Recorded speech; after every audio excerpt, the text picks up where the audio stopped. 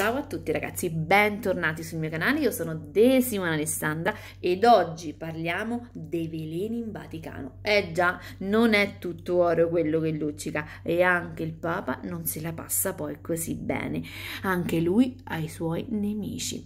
Eh sì, perché proprio da Iusa ci sono tantissimi articoli eh, in questo periodo su internet e anche ehm, eh, sulle RAI hanno fatto vedere sul reporter eh, un, un, documentario dove ehm, illustravano questa situazione. C'è un movimento, ehm, diciamo eh, la chiesa un po' più estremista, che non vuole, vuole questo papa, la vuole sbolognare, non vede l'ora perché dice che è un papa troppo buono.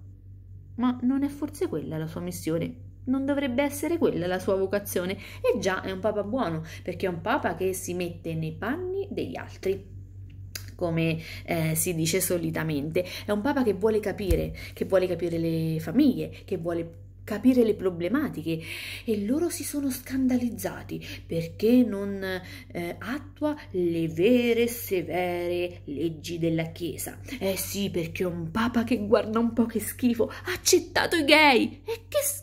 Animale strano sarà? È un papa che ha accettato il divorzio. Eh sì, perché loro preferiscono che una donna si faccia ammazzare di botte tutti i giorni e finita e finire eh, per morire eh, nelle mani del suo marito invece di divorziare. Morire ammazzata sì, ma guai a divorziare. Sì, ancora nel 2020 sentiamo questo schifo e forse si sono scordati, visto che sono così tanto religiosi, quando Gesù salvò Maria Maddalena e non fece, fece buttare per terra tutte le pietre. E voi, cioè che scagliate tutte queste pietre, avete dimenticato un passo così importante.